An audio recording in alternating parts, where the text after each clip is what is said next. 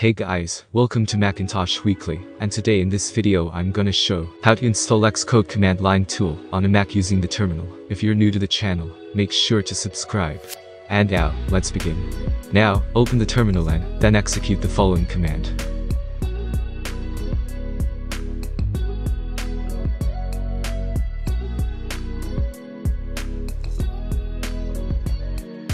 After executing the command, you'll get this dialog on your screen. Just click on install, agree to the terms and conditions and your installation will begin. Also, make sure that you're connected to the internet.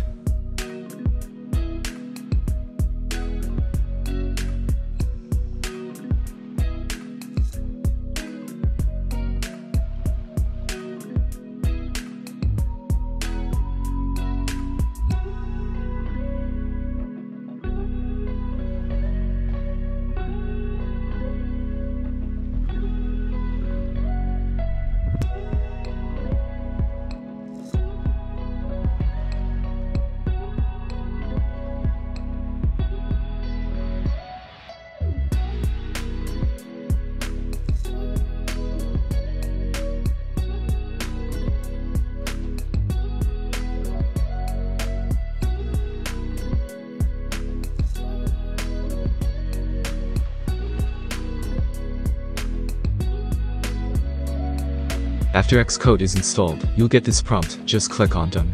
Now, to verify the installation, execute the following command. And you can see the Xcode location. This confirms that the installation was successful. So, that was it, hope it was useful, consider like for the video, subscribe to the channel, and if you have any question, just comment down below, thanks for watching, and have a great day ahead.